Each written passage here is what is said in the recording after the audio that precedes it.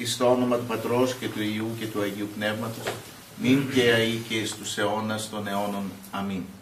Βασιλεύ ουράνιε παράκλητε το πνεύμα της αληθείας, ο πανταχού παρών και τα πάντα πληρών, ο θησαυρός των αγαθών και ζωής χορηγός, ελθέ και σκήνωσεν ημίν και καθάρισον ημάς, από πάση κυλίδος και σώσον αγαθέ σου τας ψυχάς ημών.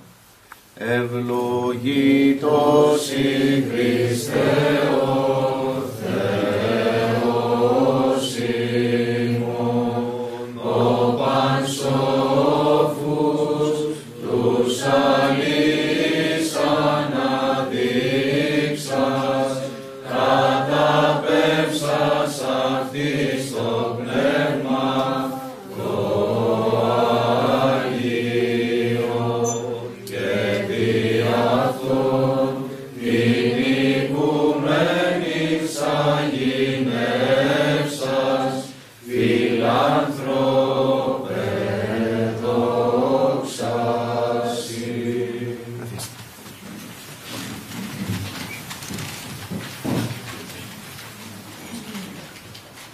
ξεκινήσουμε να συνεχίσουμε την ερμηνεία του 11ου και 12ου κεφαλαίου του Αγίου Νικοδήμου του Αγιορείτη τον αόρατο πόλεμο ο οποίος πράγματι αναφέρει και όπως και παρακάτω θα δούμε σήμερα θα ασχοληθούμε με τις τρεις θελήσεις που υπάρχουν. Η μία το ένα το θέλημα του Θεού μία θέληση η άλλη είναι η καλή θέληση η δική μας και είναι και η κακή θέληση η δική μας. Τρία θελήματα. Και παρακάτω αναφέρει ο Άγιος ότι με ποιο τρόπο μπορούμε εμείς να κάνουμε μάχη. Αυτό έτσι τον προσεύχω τον Άγιο. Πώς μπορούμε να νικήσουμε. Δηλαδή λέει τι πρέπει να κάνουμε όταν η καλή θέλησή μας φαίνεται νικημένη από την κακή θέληση από την παράλογη και κατώτερη θέλησή μας και από τους εχθρούς. Και λέει ακριβώς τι πρέπει να κάνουμε. Σήμερα θα εξετάσουμε ποιες είναι αυτές οι τρεις θελήσεις. Θα εξετάσουμε επίσης τι σκέψεις πρέπει να κάνουμε. Μας λέει ο Άγιος που μας παρακινούν στο να πράττουμε το θέλημα του Θεού, δηλαδή να υπερισχύει η θέλησης, το θέλημα του Θεού, να ταυτίζεται δηλαδή το δικό μας το καλό θέλημα, να ταυτίζεται με το θέλημα του Θεού, το τι σκέψεις πρέπει να κάνουμε. Φυσικά όλα αυτά τα νοήματα που αναφέρει ο Άγιος Νικόδημος πρέπει να γνωρίζουμε ότι είναι βαθιά νοήματα και δυστυχώς είναι ασύλληπτα για εμάς. Και είναι ασύλληπτα για εμάς γιατί δεν μπορούμε δυστυχώς να θεολογήσουμε. Μπορεί να έχουμε πτυχία θεολογίας, αλλά έχουμε μόνο πτυχίο θεολογίας. Έχουμε κάποιες θεολογικές γνώσεις, οι οποίες όμως δεν είναι εμπειρικές γνώσεις θεολογίας. Δεν προέρχονται από το βίωμα, αλλά προέρχονται από τις γνώσεις άλλων Αγίων που βίωσαν το θέλημα του Θεού, που βίωσαν το Θεό και προσπαθούμε αυτούς να ερμηνεύσουμε. Διότι λέει ο Άγιος Σιμεών και το διάβαζα σήμερα και μου έκανε εντύπωση. Λέει ο Άγιος Σιμεών το εξής. Ότι ούτε σε αυτόν ο οποίος θεολογεί, προσέχτε, αυτός ο οποίος θεολογεί αρμόζει μετάνοια. Δηλαδή αυτός ο οποίος θεολογεί δεν επιτρέπεται να μετανοεί. Παγορεύεται να μετανοεί. Δεν, δεν αρμόζει, δεν είναι σωστό. Δεν είναι πρέπον. Μπορείτε να διονοηθείτε γιατί δεν είναι πρέπον. Ούτε αυτός ο οποίος μετανοεί επιτρέπεται να θεολογεί.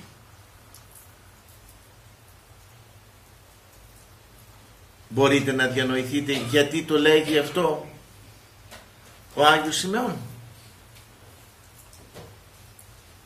Κάποιος ο οποίος θεολογεί δεν επιτρέπεται να μετανοεί. Και αυτός που μετανοεί δεν μπορεί να κηρύττει, δεν μπορεί να κάνει το θεολόγο. Εφόσον βρίσκεται στο στάδιο της μετανοίας. Γιατί συνεχίζει ο Άγιος Σημεών ο νέος θεολόγος και λέει η θεολογία από τη μετάνοια απέχει όσο η Ανατολή από τη Δύση. Τόσο λέει απέχει. Και φέρνει και ένα παράδειγμα. Αυτός που μετανοεί ειλικρινά, ειλικρινά μετανοεί, και επιτελεί τα έργα της μετανοίας, κάνει πράξη. Τη μετάνοιά του την κάνει βίωμα. Την κάνει πράξη, κανονική, καθημερινή. Μοιάζει με εκείνον ακόμα ο οποίος βρίσκεται μέσα στις νόσους και τις ασθένειες και προσπαθεί να θεραπευτεί. Έξω και πίπτει, αμαρτάνει και μετανοεί. Αυτός είναι ακόμα λέμε στις νόσους. Μπορεί να σου περιγράψει καλά την αμαρτία άμα θέλεις. Δεν μπορεί να σου περιγράψει τη θεότητα. Διότι δεν έχει φτάσει στο ύψος του φωτισμού και της θεώσεως. Είναι ακόμα στο στάδιο της καθάρσεως. Όσοι διαβάσατε το βιβλίο «Σύγχρονος γεροντικός λόγος» θα το είδατε. Όταν είσαι στο στάδιο της καθάρσεως δεν μπορείς να θεολογήσεις ούτε μπορείς να μπεις στα νοήματα.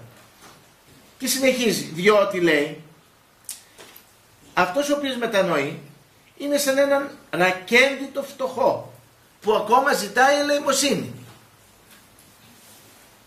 Ενώ αυτός που θεολογεί μοιάζει με εκείνον που ζει μέσα στα ανάκτορα και είναι ντυμένος με λαμπρότητα, με τη λαμπρότητα της βασιλικής στολής και είναι οικείος με τον βασιλιά.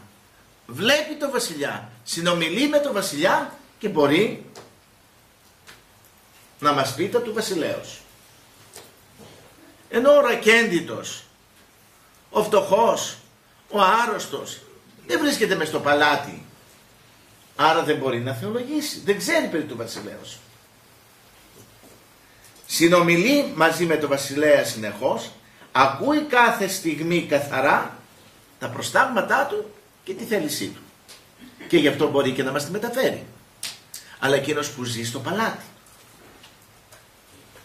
Να λοιπόν γιατί λέει ο Άγιος Σιμεών, ο νέος θεολόγος, ότι αυτός που θεολογεί δεν μπορεί να μετανοεί. Έχει ξεφύγει δηλαδή από αυτό το στάδιο. Δεν μπορεί να είσαι στην αμαρτία και να, να κάνεις θεολογίες. Δεν μπορείς. Δεν γίνεται αυτό το πράγμα. Αντιθέτως, αυτός που θεολογεί δεν μετανοεί. Και αυτός που μετανοεί είναι ακόμα εκεί δεν μπορεί να θεολογήσει. Να γιατί το λέγει αυτό. Διότι ακόμα βρίσκεται στο πρώτο στάδιο της καθάρσεως. Να γιατί διαβάζοντας τον Άγιο Νικόδημο, ο οποίος Άγιος Νικόδημος έχει φτάσει όχι στο στάδιο της καθάρσεως, έχει περάσει, έχει περάσει το στάδιο του φωτισμού και έχει εισέλθει στο στάδιο της θεώσεως. Και γι' αυτό μας μεταφέρει σε θεϊκές εμπειρίες, μας μεταφέρει λόγια τα οποία τα βλέπουμε και εκπλησόμεθα και λέμε μα πώς είναι δυνατόν να πήγε το μυαλό του μέχρι εκεί. Όπως είδατε στην προηγούμενη ομιλία που κάναμε ότι δεν πρέπει να υπάρχει ιδιοτέλεια σε τίποτα από καμία πράξη που κάνουμε ακόμα και στην προσευχή. Όταν προσεύχεσαι, δεν προσεύχεσαι, δεν πρέπει να προσεύχεσαι γιατί εσύ το έχεις ανάγκη ή το νιώθεις ανάγκη ή γιατί εσύ γεμίζεις. Γιατί αυτό κρύβει ιδιοτέλεια λέει ο Άγιος Νικόδημος. Κάνεις το ίδιο συμφέρον. Το κάνεις γιατί εσύ το επιθυμείς, εσύ το ποθείς. Το έχεις ανάγκη και γι' αυτό το κάνεις. Όχι. Αυτό που κάνεις έστω και αν είναι και η προσευχή ακόμα, όπως είπαμε στην προηγούμενη ομιλία, πρέπει να είναι μόνον διότι αποδίδεις δόξα στο Θεό. Και κανένα άλλο λόγο. Γιατί αποδίδεις δόξα στο Θεό. Οι άγγελοι δεν υμνούν το Θεό γιατί αυτοί γεμίζουν. Το δοξολογούν ακατάπαυστα. Όχι γιατί εκείνοι ικανοποιούνται από τη δοξολογία αυτή. Το κάνουν μόνο και μόνο γιατί αυτό ευχαριστεί τον ίδιο το Θεό.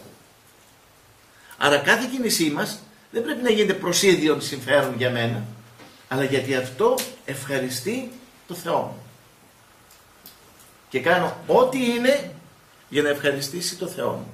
Να και γιατί κάνω πάντοτε το θέλημά του. Άσχετο εάν αυτό αποκομίζω και ίδιον συμφέρον. Τελικά ότι κάνοντας αυτό αγιάζομαι εγώ. Αυτό έρχεται αποτέλεσμα. Αυτό έρχεται αποτέλεσμα. Το ότι και εγώ φτάνω στην αγιότητα.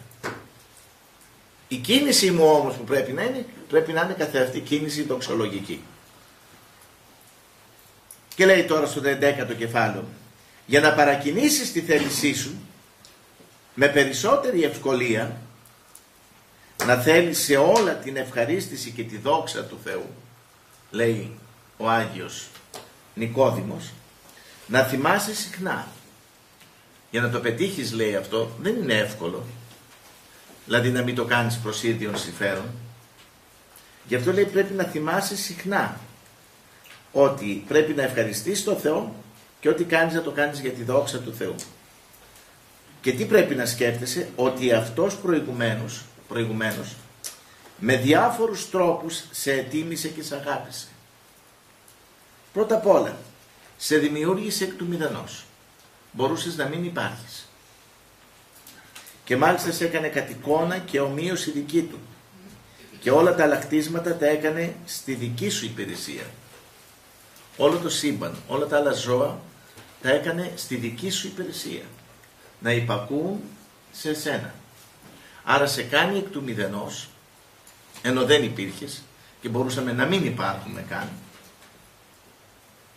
Άρα σου λέει, θα σκέφτεσαι ότι Θεέ μου αν με έχεις φέρει σε ύπαρξη και με έκανες και βασιλέα του σύμπαντος που ο Χριστός δεν το έχει ανάγκη να το κάνει αυτό. Να μας δημιουργήσει ο Θεός δεν το είχε ανάγκη. Μας δημιούργησε και ήρθαμε σε ύπαρξη. Αυτό το πράγμα να μας βγαίνει σε δοξολογία. Να τον ευχαριστούμε, να τον υμνούμε και να τον δοξάζουμε για αυτό που μας έκανε.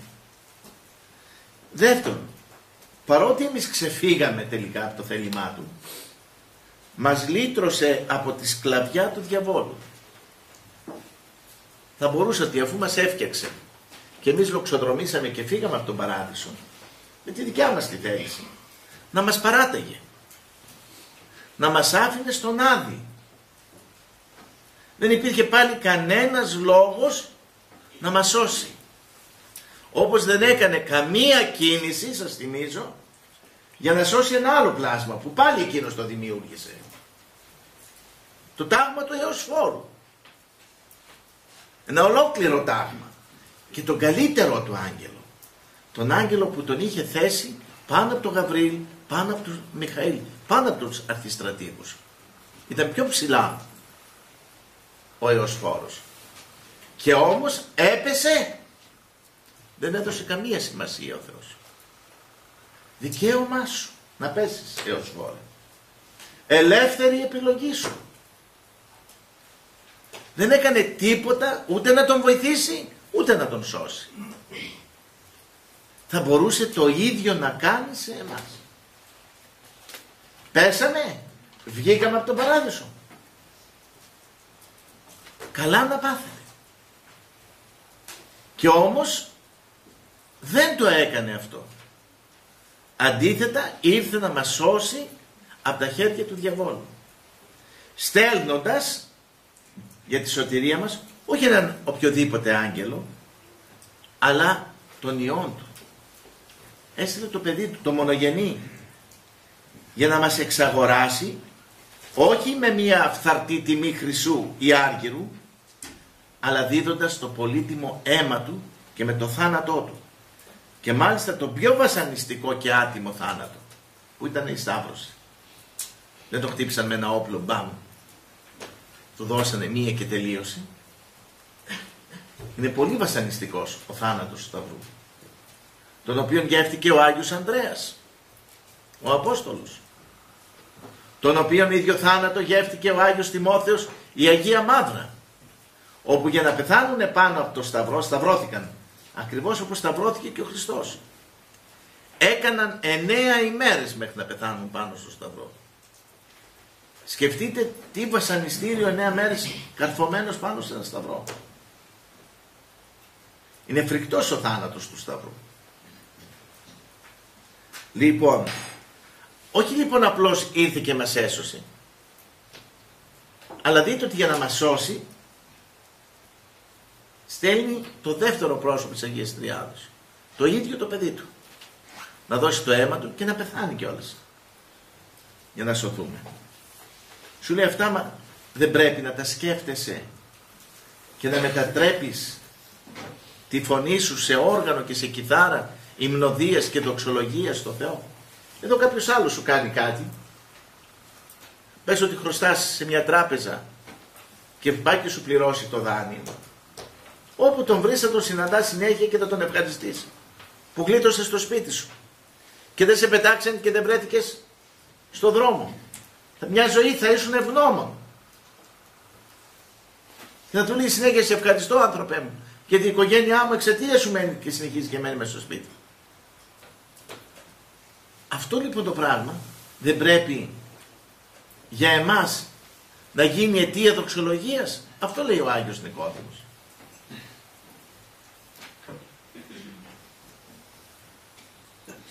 Και πάλι μετά από όλα αυτά κάθε ώρα και κάθε στιγμή σε φυλάει και σε προστατεύει από τους εχθρούς σου.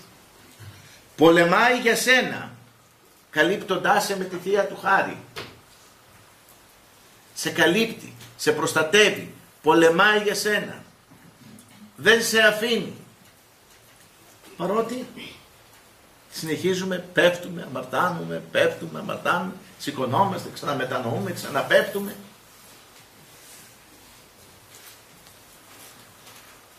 Έχει έτοιμο για τροφή σου και τιμή σου τον αγαπημένο του Υιό στα άχαντα μυστήρια. Και όχι μόνο αυτό, αλλά σου παρέχει τη δυνατότητα μυστηριωδώς να τρως τη σάρκα και το αίμα να πίνεις του Ιού του στα μυστήρια, στη Θεία Κοινωνία και να γίνεσαι κοινωνός της θεότητος. Σου επιτρέπει μετά από όλα αυτά που έχεις κάνει τελικά να γίνεσαι και κοινωνός θεότητος. Και λέει αυτά λέει τα έχετε σκεφτεί.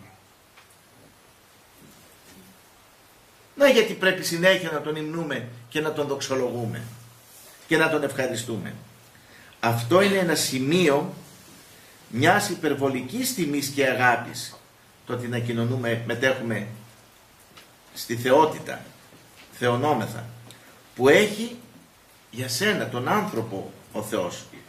Και είναι τόσο μεγάλη τιμή που δεν μπορεί κανείς να καταλάβει πόση τιμή κάνει ένας τόσο μεγάλος βασιλιάς στη μηδαμινότητα και ταλαιπωρία μας. Είναι ανεξήγητο. Ότι μετά από όλη αυτή τη διαδρομή του ανθρωπίνου γένους, πώς σε αφήνει ο Θεός και πώς σε τιμά με τέτοια βασιλική χάρη ξανά. Θυμηθείτε τον Άσο τον Ιώ που του φοράει ο πατέρας του στο χέρι το δαχτυλίδι της υιοθεσίας και τον ξανακάνει πρίγκιπα. Πώς λέει μετά από όλα αυτά τη διαδρομή του ανθρώπου που δεν τον εγκατέλειψε. Όπως εγκατέλειψε τον Νεοσφόρο. Που δεν μας άφησε στον Άδη να βασανιζόμαστε από τους δαίμονες. Που στέλνει το παιδί του. Που μας προστατεύει. Που εμείς αμαρτάνουμε. Και εκείνος είναι συνέχεια κοντά μας.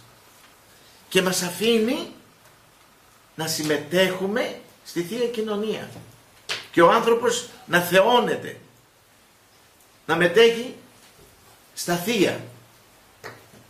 Και λέει αυτό είναι μια ιδιαίτερη τιμή που έχει κάνει μόνο για σένα λέει ο Θεός.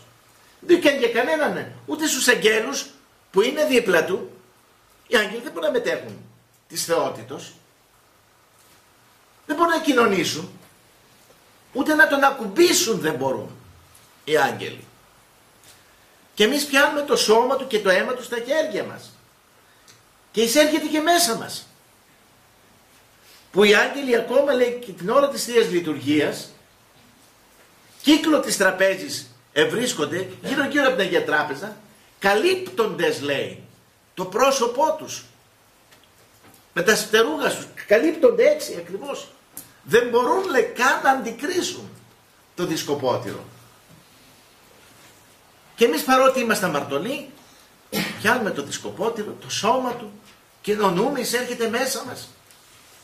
Λέει δεν σκέφτεσαι ότι ενώ είσαι ένα τίποτα έπρεπε κανονικά σαν μια γόπα να σε ποδοπατήσει κάτω και να σε σβήσει ο Θεός και να μην δώσει σημασία όπως δεν έδωσε τον Νεοσφόρο.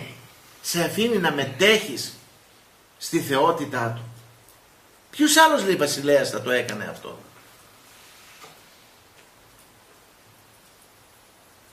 Αυτό λέει μας δείχνει την πόση μεγάλη τιμή μας αποδίδει και αυτά λέει πρέπει να τα σκεφτόμαστε. Και αντίθετα πόση τιμή και σεβασμό χρωστάμε να έχουμε εμείς στην τόσο υψηλή αυτού μεγαλειότητα ο οποίος έκανε για εμάς τόσα και θαυμαστά πράγματα.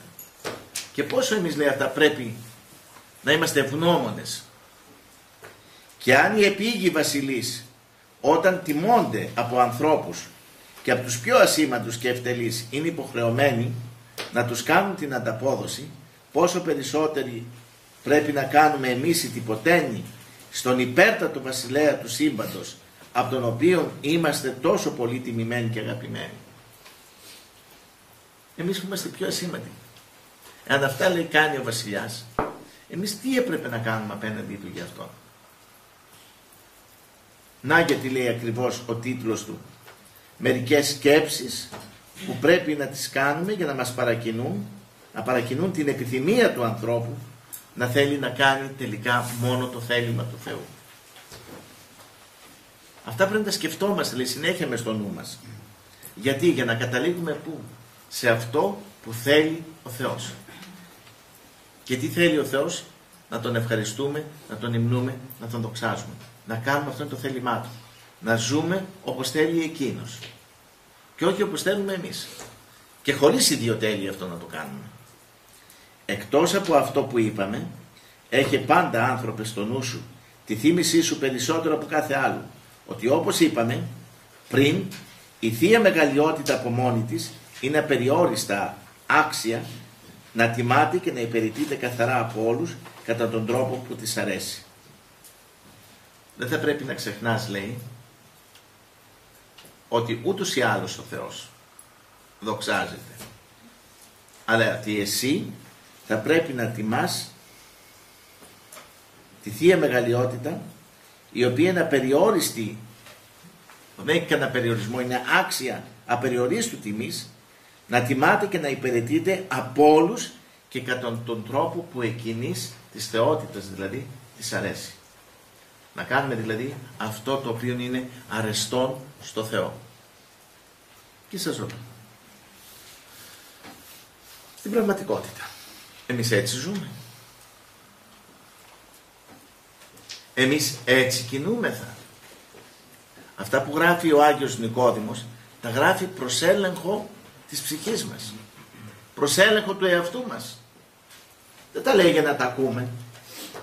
Ωραία τα ακούμε, ωραία τα λέμε, ωραία τα διαβάζουμε, ωραία τα ερμηνεύουμε. Αν και είναι απαράδεκτο να τα ερμηνεύουμε. Γιατί δεν μπορούμε εμείς αμαρτωλοί, ζώντας ακόμα στο στάδιο της καθάρσεως, να θεολογούμε. Δεν αρμόζει λέει, δεν πρέπει να το κάνετε. Καθίστε σε μια σπηλιά σαν να μας λέει ο Άγιος Σημεών ο νέος θεολόγος να κλάψετε τις αμαρτίες σας. Και όμως θεολογούμε τελικά. Δεν λέμε δικές μας εμπειρίες, αλλά ερμηνεύουμε. τις εμπειρίες του Αγίου Νικοδήμου. Λοιπόν, ζούμε έτσι. Όχι, αυτή είναι η πραγματικότητα. Γιατί αν ζούσαμε εμείς οι χριστιανοί, εμείς οι μοναχοί, οι μοναχές, ο κλήρος, αυτοί όλοι που πάνε εκκλησία, εάν ζούσαν έτσι όπως λέει ο Άγιος Νικόδημος και όπως είναι το σωστό και το πρέπει να ζει ο χριστιανός, δεν θα ήταν έτσι η κοινωνία μας. Δεν θα ήταν έτσι η κοινωνία μας. Δεν θα είχαμε φτάσει στα χάλια που έχουμε φτάσει εδώ μέχρι σήμερα. Είναι αδύνατο. Εδώ βλέπουμε ξεκάθαρα, όπως λέω πολλές φορές σε ανθρώπους που έρχονται, έχουμε χάσει την ευλογία του Θεού. Αυτό που λέει παραπάνω ότι μας προστατεύει και μας φυλάει από τους εχθρούς και πολεμάς και μας έχει σκεφασμένους με τη Θεία Χάρη, εγώ θεωρώ ότι έχει φύγει αυτή η Θεία Χάρη πλέον. Αυτή η προστασία του Θεού δεν υπάρχει. Μπορεί να υπάρχει κατά τόπους, σε ανθρώπους δικούς του, σε μοναστήρια δικά του, σε οικογένειες δικές του. Δεν υπάρχει σε όλο το έθνος πλέον. Και το λέω αυτό γιατί, διότι δεν είναι δυνατόν μια οικογένεια όταν πηγαίνει από το κακό στο χειρότερο δεν μπορείς να πεις ότι αυτή την οικογένεια που πάει από το κακό στο χειρότερο την προστατεύει η χάρη του Θεού αφού πάει κατά διάολο η οικογένεια. Μπορείς να πεις ότι την προστατεύει η χάρη του Θεού; Άρα πώς μπορώ να πω για ένα ολόκληρο έθνος που πάει κατά διαόλου; Γκρεμιζόμαστε. Να πούμε ότι το σκεπάζει η χάρη του Θεού. Μπορείς να το πεις αυτό το πράγμα; Όταν δεν μπορεί να το πεις για μια οικογένεια, δεν μπορεί να το πεις για τη μεγάλη οικογένεια που είναι η πατρίδα μας. Και γιατί, διότι δεν ζούμε έτσι όπως λέει ο Άγιος Νικόδημος. Δεν ζούμε έτσι όπως λέει ο Άγιος Νικόδημος. Και όπως λένε όλοι οι Θεοφόροι Άγιοι. Τα λέμε, τα ακούμε, το ζήτημα είναι να συμμορφωνόμαστε. Εάν αυτό το κάνουμε πράξη στη ζωή μας. Και ιδιαίτερα εμείς που γίναμε μοναχοί, αλλά και όσοι βαπτιστήκαμε και είμαστε λαϊκοί χριστιανοί είστε. Υποσχεθήκαμε ότι θα τα βιώσουμε. Και εμείς γι' αυτό το λόγο ήρθαμε μέσα στο μοναστήρι, γιατί είπαμε ότι έξω στον κόσμο που ζούμε είναι δύσκολα τα πράγματα. Και λέμε μέσα στο μοναστήρι είναι πιο εύκολα. Γιατί σου δίνονται όλες οι ευκαιρίες με τις ακολουθίες, με τις προσευχές, με τα κομποσκήνια, με τις νηστείες, με τις μετα... το όλο κλίμα της Μονής σε βοηθάει να κάνεις αυτά που λέει ο Άγιος Νικόδημος. Και γι' αυτό φορέσαμε το ράσο. Ιδάλλως θα είχαμε καθίσει και εμείς έξω στην κοινωνία. Αλλά λέμε, εκεί μέσα είναι πιο εύκολα να τα κάνουμε μέσα στο μοναστήρι, να τα κάνουμε πράξη. Αλλά δεν σημαίνει ότι και οι άλλοι που έμειναν απ' έξω από τη μονή και συνεχίζουν και ζουν ότι δεν πρέπει να τα κάνουν πράξη. Απλώς έξω είναι πιο δύσκολα να τα εφαρμόσεις. Είναι πιο δύσκολα. Καθένας διαλέγει. Άμα σου πω εγώ να ανέβεις επάνω στην Πάρνηθα, μπορείς να ανέβεις στην Πάρνηθα. Άμα θες να πας με το τελεφερίκ και άμα θες πας και με τα πόδια. Δεν τον ενδιαφέρει το Θεό πώς θα φτάσεις στην κορυφή, αν θα φτάσεις πιο εύκολα ή με δυσκολία. Άμα πας με τα πόδια φτάνεις με τα δυσκολίες στην θα επάνω. Θα κουραστείς, θα υδρώσεις, μπορείς να και φύγεις στο βουνό, αν υπάρχει, το τελεφερίκ σε παίρνει και σε πάει. Ε, εμείς σαν μοναχοί επιλέξαμε το τελεφερίκ. Λέμε κάτσε εδώ μέσα γίνεται πιο εύκολα τα πράγματα. Είναι πιο εύκολα. Να προφυλαχτώ, να σωθώ. Μου δίδονται οι ευκαιρίες αυτές. Αλλά δεν σημαίνει ότι και ο άλλος που μείνε και πάει με τα πόδια δεν πρέπει να φτάσει στην κορυφή της Πάρνηθας. Αφού εκεί πάνω είναι το ραντεβού με τον Χριστό. Απλώς αυτός που μείνει εκτός θα πάει Σιγά σιγά και καταϊδρωμένος. Αλλά πρέπει να φτάσει. Άρα και εσείς οι λαϊκοί πρέπει να φτάσετε στην κορυφή. Συνήθεια αποφασίσαμε ότι εμείς θα στερηθούμε κάποια άλλα πράγματα αλλά ο στόχος μας είναι να φτάσουμε στην ίδια κορυφή κι εμείς. Και μας βοηθάει εμάς περισσότερο το περιβάλλον από ότι το περιβάλλον έξω που είναι στην κοινωνία. Δεν ξέρω κατά πόσο βοηθάει σήμερα το να ζήσεις αυτά που λέει ο Άγιος Νικόδημος και το Ευαγγέλιο. Γιατί ο Άγιος Νικόδημος το Ευαγγέλιο μεταφράζει και εκείνος και ερμηνεύει. Και φυσικά δεν είναι ανεφάρμοστο το Ευαγγέλιο στον κόσμο είναι εφαρμόσιμο με τα δυσκολίας με τα δυσκολίας ο καθένας επιλέγει αν θα ακολουθήσει δρόμο εύκολο ή δύσκολο. Όσοι μείνατε έξω και παντρευτήκατε, ακολουθήσατε τον δύσκολο δρόμο. Ο μοναχός πήρε το πιο εύκολο. Στερείται κάποια πράγματα, αλλά του δίνονται περισσότερες ευκολίες να κερδίσει τον παράδεισο. Και να φτάσει χωρίς μεγάλη κούραση επάνω στην, στην κορυφή της Πάρνητας. Στην θέωσή μας δηλαδή. Αυτό λέει και μας λέει τι σκέψεις πρέπει να κάνουμε. Ο Άγιος Νικόδημος. Μας λέει πώς πρέπει να καλλιεργούμε και να σκεφτόμαστε. Πώς θα μπορέσουμε να σκεφτούμε και τι να σκεφτούμε. Και μας λέει θα σκέφτεστε όλα αυτά. Και αυτό θα σας βοηθάει στο να πράτετε το θέλημα αυτό που θέλει ο Θεός. Γιατί λες τόσα έκανε ο Θεός για μένα. Εκ του μηδενός με δημιούργησε. Και εκ του μηδενός μπορεί να με ξαναδώσει μία και να χαθώ. Ποιος μας λέει ότι αύριο θα ζούμε; Ένα εγκεφαλικό, μια καρδιά, ένα τύχημα με ένα αυτοκίνητο, ένα καρκίνο και σε έξι μήνες, ένα χρόνο έχεις φύγει. Αυτό περνάει μέσα από το μυαλό μας. Περνάει μέσα από το μυαλό μας. Και ότι πρέπει να ζούμε σύμφωνα με το θέλημα του Θεού. Ή μήπως οι βιωτικές μέρημνες είναι εκείνες που μας κερδίζουν.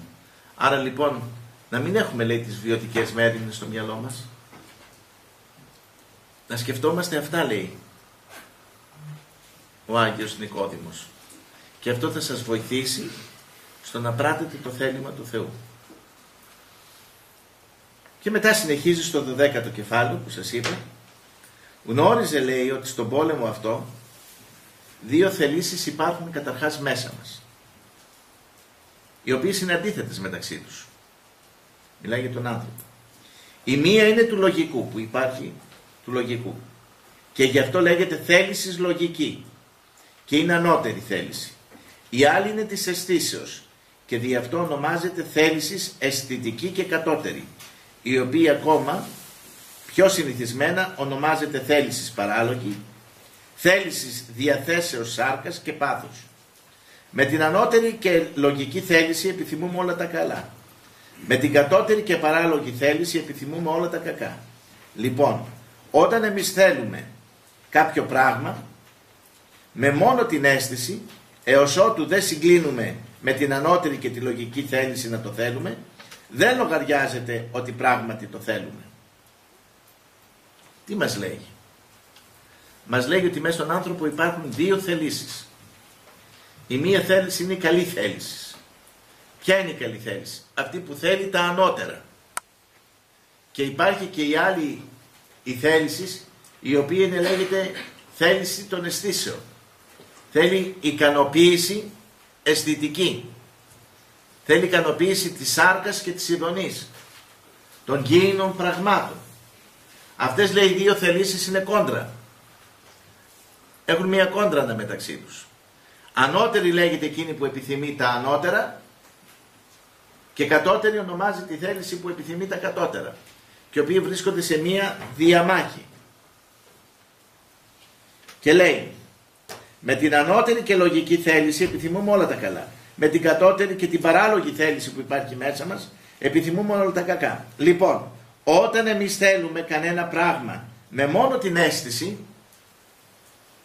όταν θέλουμε κάτι με, κάτι με μόνο την αίσθηση, δηλαδή την κακή λογική, έως ότου δεν συγκλίνουμε με την ανώτερη και λογική θέληση να το θέλουμε, δεν λογαριάζεται ότι πράγματι το θέλουμε. Δεν θεωρείται ότι πράγματι το θέλουμε γιατί είναι το κίνητρο η κακή θέληση.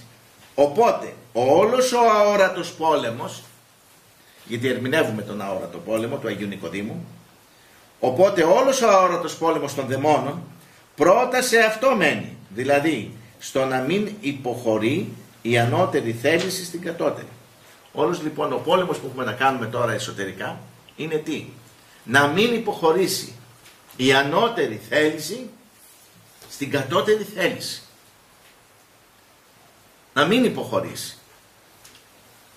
Γιατί η λογική θέληση, η καλή δηλαδή, η οποία βρίσκεται ανάμεσα στη θέληση του Θεού, βάζει και άλλη θέληση τώρα, τρεις θελήσεις, η οποία βρίσκεται ανάμεσα στη θέληση του Θεού και μένει πάνω της και σε εκείνη της αισθήσεως που είναι από κάτω της. Και είναι η κακή θέληση. Πολεμείται πάντοτε και από τη μία και από την άλλη. Δηλαδή η δικιά μας θέληση, η καλή, δέχεται πόλεμο και από τον Θεό και από την κατώτερη. Πόλεμο δέχεται από τον Θεό να τραβήξει τη θέλησή μας προς τη δικιά του θέληση, να μην υποχωρήσουμε και μας πολεμάει με τη συνείδησή μας, μη εκεί, μη το άλλο, πρόσεξε και να μας νικήσει, αλλά απ' την άλλη πολεμάει τη δική μας θέληση την καλή και η κακή θέληση η οποία κοιτάει να τραβήξει τη θέλησή μας προς τα κάτω, ώστε να βάλει τελικά τον άνθρωπο να αμαρτήσει.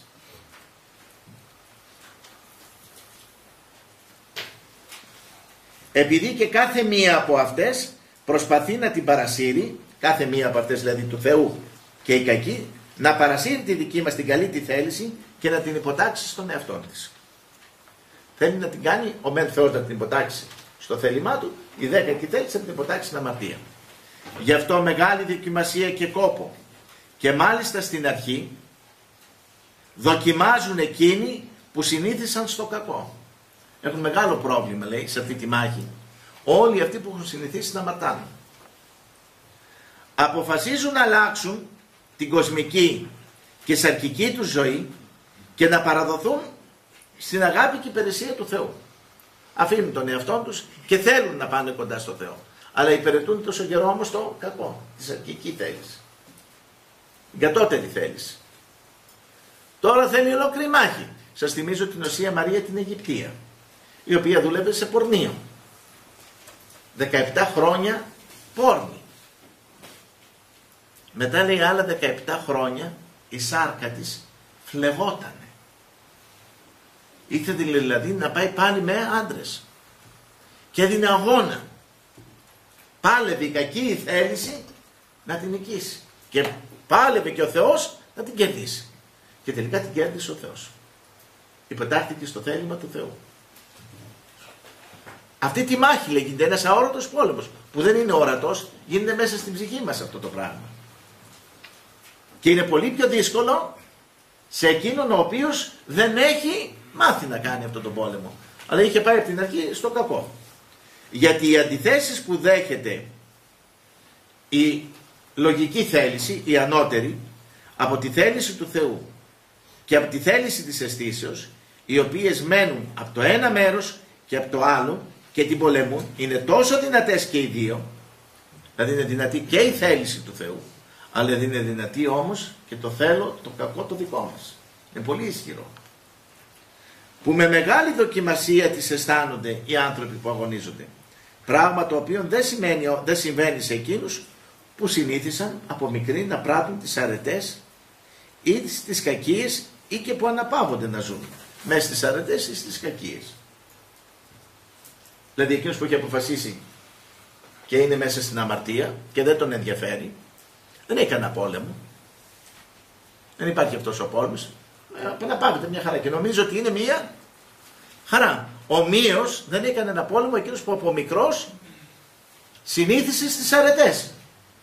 Τον πόλεμο τον έχει εκείνος που ήταν στην αμαρτία και τώρα θέλει να ξεφύγει από την αμαρτία και να ζήσει μέσα στις αρετές. Αυτός λέει δέχεται έναν αόρατο πόλεμο πόλεμο από το Θεό, να τον νικήσει ο Θεός και πόλεμο λέει από την κακή θέληση. Διότι οι μεν άρετοι συμφωνούν εύκολα στη θέληση του Θεού. Οι δε κακοί κλείνουν εύκολα σε εκείνη της αισθήσεως, την κακή. Χωρίς καμία μάλιστα εναντίωση. Δεν εναντιώνονται, δεν λένε, Ω, μην αμαρτήσω. Δεν, δεν τους περνάει κάτι τέτοιο από το μυαλό. Ούτε καν. Αυτό θέλουν να κάνουν, αυτό και κάνουν. Οπότε, ας μην καυχάται κανείς πως μπορεί να αποκτήσει τις αληθινές χριστιανικές αρετές και να υπηρετήσει το Θεό όπως πρέπει, αν δεν βιάσει στα αλήθεια των εαυτών του για να εγκαταλείψει όχι μόνο τις μεγαλύτερες ευχαριστήσεις, αλλά ακόμα και τις μικρότερες, στις οποίες ήταν πριν αφοσιωμένος με κοσμική αγάπη. Έτσι λέει μην καυχέται κανείς. Διότι αν από μικρός είχες μάθει, ήταν λόγω συνηθίας. Μην καφιέσαι. Αλλά και αν τις απέκτησες και κέρδισες τις μεγάλες, πρέπει να προσέξεις και τις μικρές λέει. Και αυτό συμβαίνει να φτάνουν και από αυτό συμβαίνει να φτάνουν στην τελειότητα πολύ λίγοι. Δηλαδή προσέχουν μερικοί τα πολλά, τα μεγάλα. Δεν σκότωσα, δεν έκλεψα, δεν αδίκησα. Αλλά δεν φτάνουν στην τελειότητα λέει. Γιατί, διότι αυτά τα μικρά, τα κοσμικά λέει που τους αρέσουν, δεν έχουν σκοπό να ξεκολλήσουν. Δεν έχουν σκοπό να ξεκολλήσουν. Θέλω να ντυθώ όμορφα, θέλω να φτιαχτώ όμορφα, θέλω να περιποιηθώ, θέλω εκείνο, θέλω τα. Δεν ξεκολλάει λέει εύκολα. Ε, και σου λέει εντάξει τώρα, ανθρώπινο είναι αυτό. Ακούστε τι λέει τώρα. Γιατί αφού κατάκτησαν με κόπο τις μεγάλες ευχαριστήσεις, δεν θέλουν μετά από αυτά να πιέσουν τον εαυτό τους να νικήσουν τώρα και τις μικρότερες και ασήμαντες επιθυμίες τους, οι οποίοι κάθε ώρα τους κατακτούν. Κέρδισαν τα μεγάλα και έτσι λέει τα μικρά τα αφήνουν. Και τι είναι το αποτέλεσμα, αυτοί οι άνθρωποι λέει τελικά δεν φτάνουν ποτέ στην τελειότητα και γι' αυτό αυτοί που φτάνουν στην τελειότητα είναι λίγοι. Για παράδειγμα, υπάρχουν μερικοί που δεν κλέβουν, αλλά όμως αγαπάνε με υπερβολή τα δικά τους πράγματα και δεν λένε να τα αποχωριστούν. Είναι άλλοι που δεν ζητάνε τιμές με αθέμετα και άπρεπα μέσα. Όμως δεν τις συχαίνονται. Ενώ θα έπρεπε τις τιμές να τις συχαινόμαστε. Καθώς έχουν χρέος, αλλά και τις επιθυμούν και κάποιες φορές τις γυρεύουν πλαγίως με διαφόρους άλλους τρόπους. Δεν πάνε απευθείας, πάνε μέσω άλλου τρόπου να το κερδίσουν. Άλλοι πάλι κρατάνε τις νομοθετημένες νηστείες κατά την υποχρέωσή τους. Όμως κυριεύονται από την αδιφαγία. Τρώνε. Ναι με κάνει την νηστεία, λέει, αλλά τρώνε, κατεβάζουν ποσότητες. Και τη βουλημία, τρώγοντας περισσότερο από αυτό που τους είναι αρκετό. Ναι με νηστεύουν, αλλά κυριεύονται από τα μικρά. Άλλοι ζουν με εγκράτεια. Όμως δεν ξεκολλάνε από κάποιες συναναστροφές που τους αρέσουν, οι οποίες είναι δυνατόν να τους προξενούν μεγάλο εμπόδιο στην πνευματική ζωή και στην ένωση με το Θεό. Και μάλιστα πρέπει να προσέξετε εκείνες τις συναναστροφές που γίνονται με πρόσωπα νέα και ευλαβή από τα οποία όσο λιγότερο φοβάται κάποιος τόσο περισσότερο πρέπει να τα αποφεύγει γιατί από αυτά κινδυνεύει. Τι λέει εδώ πέρα τώρα; Εγκρατευόμαστε λέει. Εννοεί σαρκικά. Όμως λέει δεν αποφεύγουμε τις αναστροφές ιδιαίτερα με νεαρά άτομα, με κοπελιές, με αγόρια, οποιοδήποτε τα οποία ναι, δεν κάνω τίποτα και είναι και πνευματικά άτομα αλλά με γεμίζουν μέσα μου η κουβέντα τους που κάνω μαζί τους με επαναπάβει. Δεν ξεκολλάω λέει από αυτό. Με κερδίσει αυτό λέει. Γιατί με ξεκουράζει. Αλλά αυτοί λέει να φοβούνται που το αισθάνονται αυτό. Γιατί από αυτό είναι πολύ πιο εύκολο λέει να πέσει και μην φοβάται. Αμαρτήσει δηλαδή ο άνθρωπος. Οπότε από αυτά που είπαμε μέχρι τώρα Επόμενο είναι να κάνουν καλά έργα, αλλά ατελή έργα. Ελλειπή και συνοδευμένα με την επιθυμία της τιμής και των επένων του κόσμου. Δηλαδή ναι μεν έχουν κερδίσει, κάνουν τα σπουδαία, τα μεγάλα, έχουν πάει με το Θεό, έχει γύρει δηλαδή, εδώ μιλάει για εμάς όλους που είμαστε κοντά στο Θεό, έχουμε γύρει με το Θεό, αλλά δεν λέμε από τα μικρά να ξεκολλήσουμε, από τα κοσμικά και έτσι λέει η προσπάθειά μας είναι ατελής. Γιατί συνοδεύεται με το να μας τιμήσουν, να περιποιηθούμε, να κάνουμε όλα αυτά που έλεγε προηγουμένως.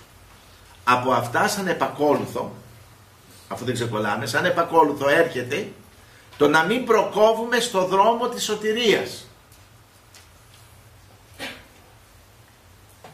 Να μην προκόβουμε. Τη λεπτομέρεια.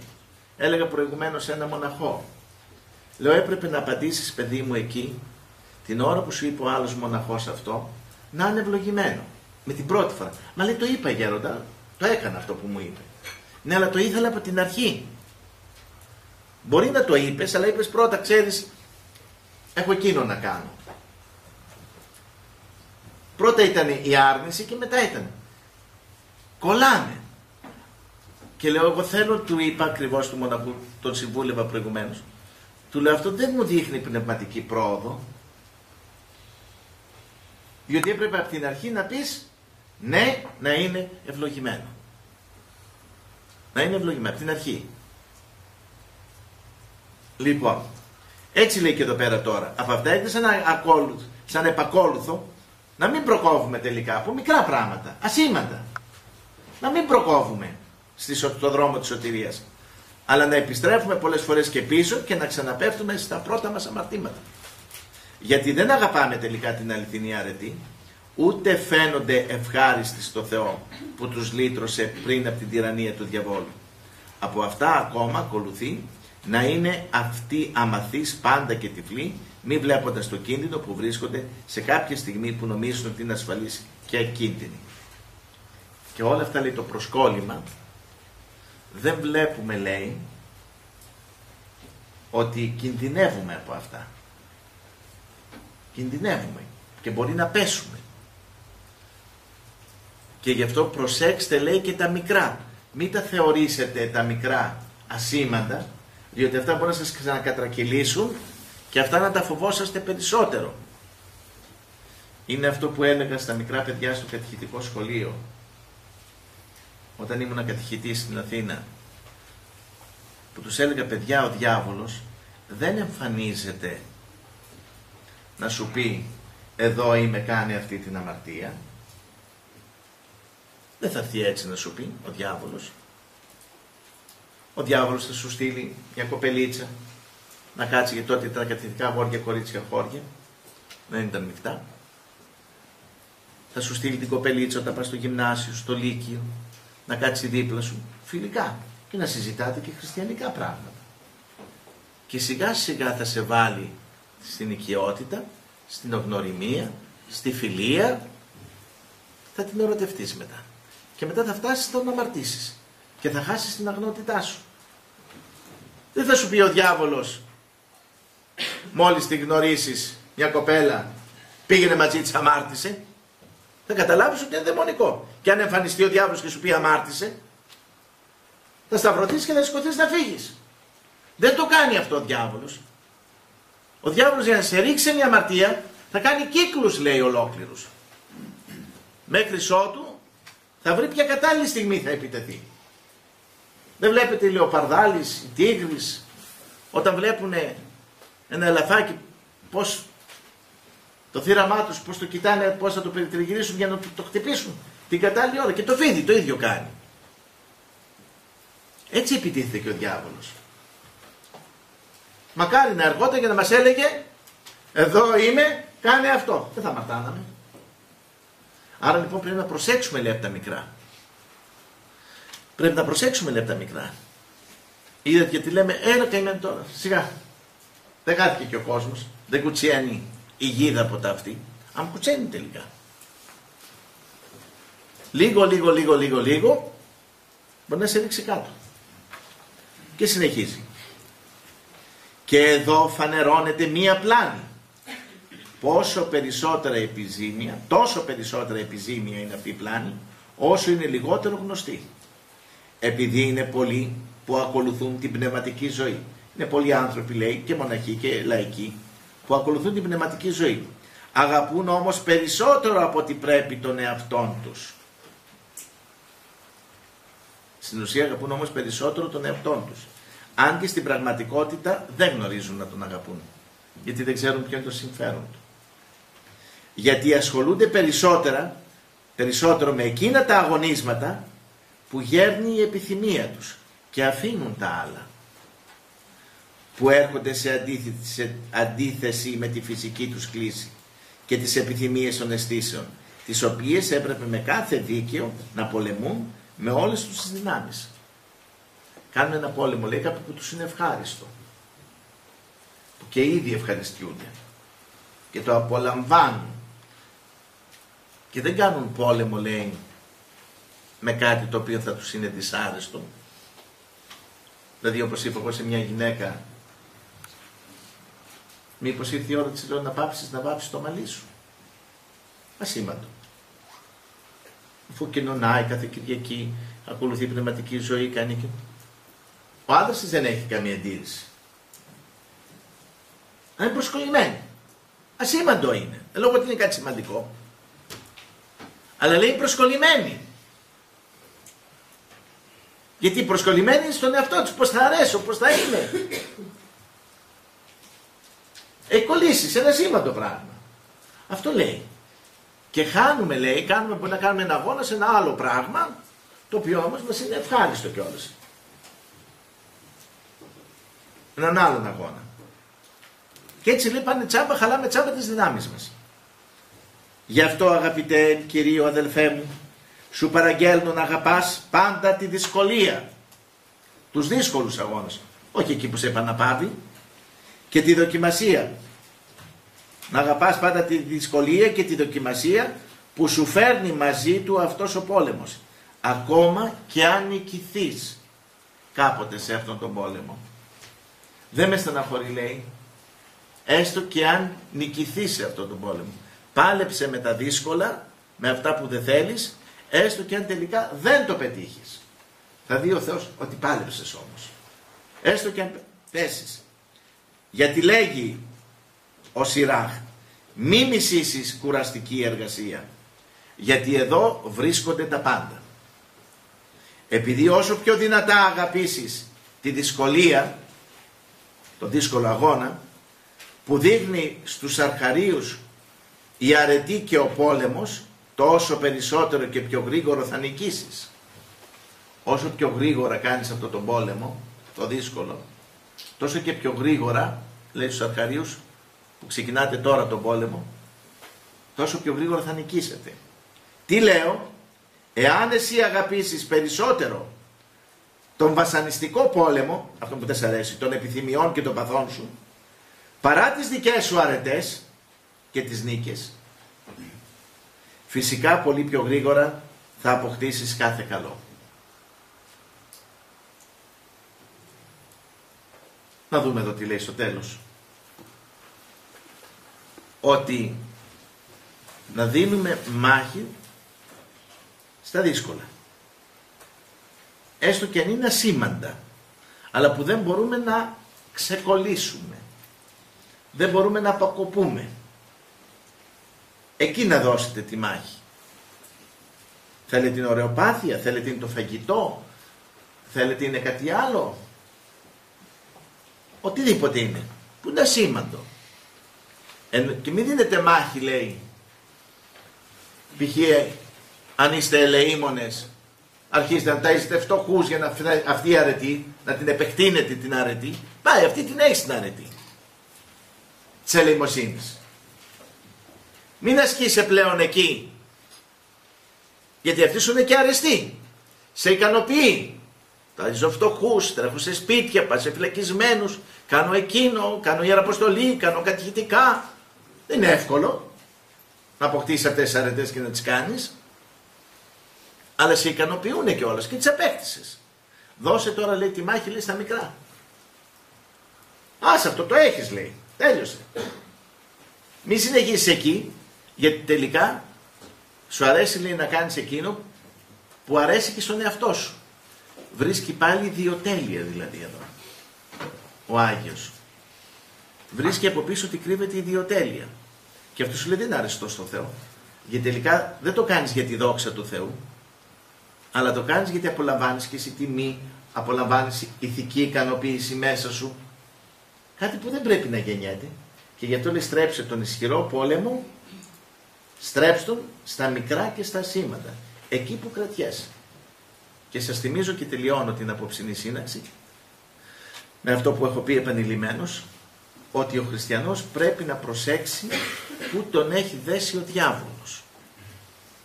Ο κάθε ένας από εμά κάπου είμαστε δεμένοι με μια λυσίδα. Μας έχει πιάσει από το πόδι, μας έχει πιάσει από το λαιμό, μας έχει πιάσει από το αχέρι. Από κάπου μας πιάνει. Γιατί, για να μην μας αφήσει να ανυψωθούμε προς τα ουράνια. Αυτό το πάθος, είτε μικρό, είτε μεγάλο, είτε ασήμαντο, αν δεν κόψω τις αλυσίδες, δεν μπορώ να ανυψωθώ τελικά. Δεν μπορώ να ανυψωθώ προς τα ουράνια. Θα μείνω κολλημένος στα γήινα. Και θα νομίζω να κάνω όλα τα άλλα ότι είναι αναπαυμένη η συνείδησή μου και ότι είμαι μέσα σε ένα σωστό καλό δρόμο. Αλλά δεν θα φτάσω ποτέ στην τελειότητα, εκεί που θέλει ο Θεός. Να λοιπόν, πώς πρέπει να σκεπτόμεθα καθημερινά για να κάνουμε το θέλημα του Θεού, να το επιτυχάνουμε με ευκολία.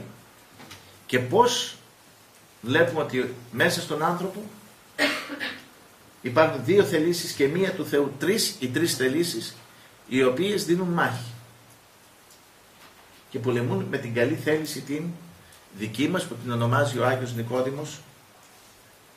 Ανωτέρα θέληση, λογική θέληση ενώ οι άλλοι είναι παράλογοι, αμαρτωλοί θέληση. Και μας λέει το τι πρέπει να κάνουμε και πώς πρέπει να δώσουμε τη μάχη, ώστε να μας κερδίσει τελικά η θέληση του Θεού και το θέλημα του Θεού. Αμήν. Διευχών των Αγίων Πατέρων ημών, Κύριε Ιησού Χριστέ ο Θεός, ελέησον και σώσον ημάς. Αμήν.